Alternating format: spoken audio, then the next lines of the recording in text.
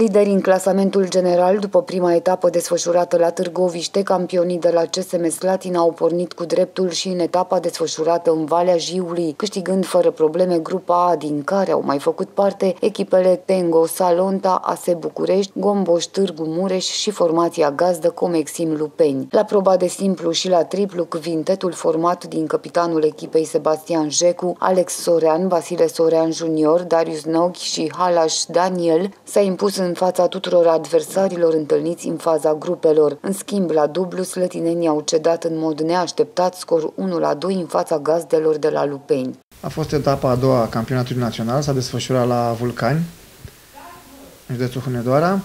A fost o etapă puțin mai grea pentru noi, am avut și ceva accidentați, doi colegi dintre noi am fost accidentați. Am reușit să ne păstrăm avansul de 4 puncte care le aveam uh, față de echipa de pe locul 2, Proactiv Târgoviște. Următoarea etapă a campionatului de fotbal tenis este găzduită de Slatina. Urmează um, a treia etapă din campionatul național, care um, sigur va, va fi la Slatina. Nu știu exact să vă spun uh, în ce săli de sport se va desfășura, pentru că încă nu știu. Va fi um, în luna aprilie, între 21 și 23 Sper că vom avea, mai ales că evoluăm în fața slătinenilor, vom avea toată echipa completă și vom fi perfecți din punct de vedere sportiv. Toate meciurile din campionat sunt transmise pe canalul de YouTube al Federației Române de Fotbal Tenis.